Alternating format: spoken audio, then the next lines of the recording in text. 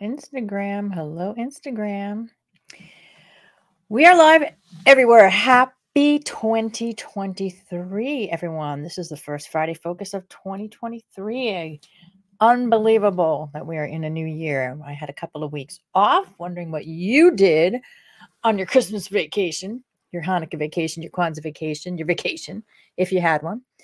Um, we staycated, but um, had a really nice time.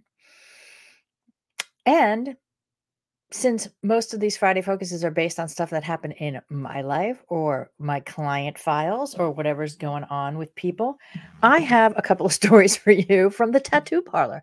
What was I doing in a tattoo parlor over the holiday season? Well, last Wednesday and this Wednesday, I happened to go into the local place in the next town. I've gone there several times to deal with my nose ring and can't really see it. It's like a little dot now. I started out with the little dot during the pandemic. I put in a ring because it was always what I wanted, but I felt like, welcome. Hi, everybody.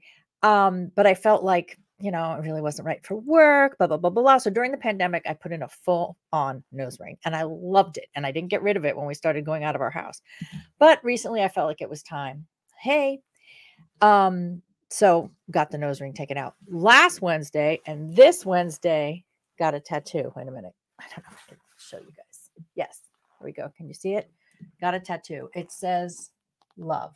I'll explain both. All right. So last Wednesday, I go in and I, I do two lessons from my two visits at the tattoo parlor. And I wanted to share them with you because they're really life lessons. And I think that you might get something out of it. So let's start the new year with some things to keep in the forefront. All right. So this is why we're going to talk about this. Stay tuned here. And by the way, if you're on Instagram, go check out my link tree. I have a free pop up training coming for coaches and lots of other things coming up. And if you can see my little scroll at the bottom of the ticker tape, you know where to go.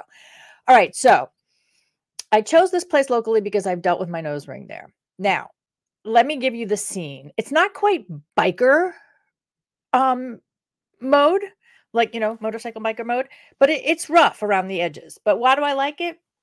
It's local. I want to support them. I know they do great work. They're nice. Anyway, so I go in last Wednesday and I have to change out my nose ring. I'm going back to the little subtle one. And the guy who dealt with me was, you know, he was rough around the edges. He was, it was kind of fun. I just kind of played with it.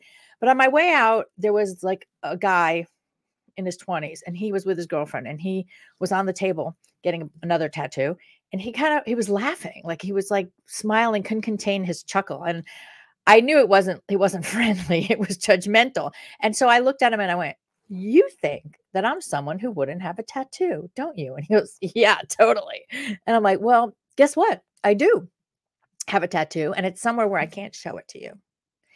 See so lesson number one and i said to him like you know the good older person that i am i said do not judge a book by its cover. Would you want me to judge you? Look at you. You're covered in tattoos. What assumption should I make about you? He shut up. His girlfriend liked it. So, first tattoo parlor visit, lesson mm-hmm. one don't assume. Don't assume. All right. So, I go back the following Wednesday to get my tattoo that it says love. Oh my, it's hard to show. You know why? Because it's for me. It's L O V E with a little heart in the middle. Love.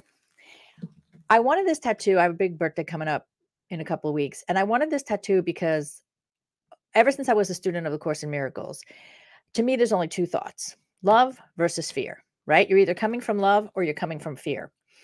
And so I literally wanted to put in my eyes view, goodness, love. So that I remember with every decision, with every conversation that I have, to do my best to come from love because I'm not I'm not naturally wired that way. So it's been a lifelong lesson. So I'm going in this Wednesday to get my tattoo. And it was with the guy who did the nose ring. And, you know, cool. Walk in. And he takes the little design that I gave him. I put it on a piece of paper. He comes back to me and he really was like, it wasn't the feeling of like this person's a customer who's about to drop some good money with me. It was more like I was a pain in his ass. And he comes up to me and he goes, you're going to want to make this bigger or it's going to look like shit. And I was like, oh, well, educate me. I don't know, you know. Mm-hmm. And he was like, you want to make it bigger so it doesn't stretch and blah, blah, blah, blah, blah. And I was like, great. And he walked away from me and I thought, you know, I don't want this person's energy working on me. I don't want this person in my space. And come from love. I didn't have the tattoo yet, but I went, Are you having an attitude with me? And he's like, I don't have an attitude. This is just how I am. I'm like, okay, bear with me, guys. There, there's there's a moral to the story here. And I was like, all right. So he walks away. And then he comes back with the permission slip and he like I guess heard my feedback. And then he was overly friendly, like, would you mind signing this? And that was mm. mocking me. And I was like, mm. wow, okay, so now you're going to overcompensate. I said this out loud. And I said, should should we not do this? You know, like this is something I I want to have fun with and um, you know, if the vibe's not right, it's okay. We don't have to work together. And of course he took offense to that. And he was like, Well, you you know, you came in hot. And I said, Well, I'm experiencing you as coming in hot. So how do we do a do-over? Can we have a do-over? He walked away a little annoyed. And then he came back and he definitely had pressed hello my daughter's joining us from israel hi honey so i'm telling people my tattoo story and so um i said you know can we ever have a do-over and press restart? Because I, we shouldn't do this if we're not liking each other. And he pressed restart. We had a great time. He was very gentle educational help really you know i was he asked me if i was nervous and i was i'm not nervous. I really was not nervous. I wasn't worked up. I was reacting to someone being unkind to me and i wanted to not be unkind back.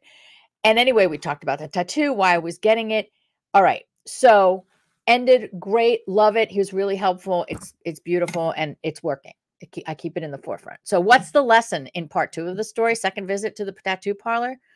Couple of lessons, I think. One, I was reading energy and not language. Okay. So, his language is I don't have an attitude. I'm not upset with you, but oh my God, the energy was awful. So, trust the energy. Listen to, I was willing to walk away. If I if it was the other way and he was my client and we weren't getting along, I also would have been willing to walk away. I've done this. And it's one of my biggest you know pieces of advice for for small business owners who have a service-based business the energy is not right don't go there it is not going to be a good client third lesson call it out as it is don't let it fester if i had not called him out and i tried to do it in the best way which is going to be lesson four um it, it just would have been a horrible experience so lesson four is if you noticed I a few times use I am feeling an attitude. I, I didn't tell you this part, but I said I told him I felt judged by him. I feel judged. I feel like this isn't going right. Right. So I, I, I, not you're an asshole. you're this, you're that, you're that. And yes, I'm saying swear words on my live. So anyway, loads of lessons from the tattoo parlor. Five, don't judge a book by its cover was the first one. And all the ones I just gave you, and they'll show up in the, you know, when we do the YouTube um analog of this. But anyway, um, those are my stories from the tattoo parlor. And you know what? Will I go back to this biker place? I totally will. I feel like I I made a new buddy. He was very respectful in the end, very kind. Everything was great. I respected where he was coming from. We talked about a lot of cool things. So, there, this was a longer Friday focus coming back on Friday. Stay tuned. I have some exciting things coming up this year. Not going to say anything yet, but it's coming. Something we're going to do with our Friday focus and turn it into um, some some new varieties. But stay tuned. Check out my link tree, guys, on Instagram. And those of you looking below, I'm doing a free pop up training for coaches on the trends that are coming up in 2023 for our profession. So please join me and and stay tuned. Lots of cool stuff. And thank you. And my daughter, have a great time. Have a great day. Bye, everybody.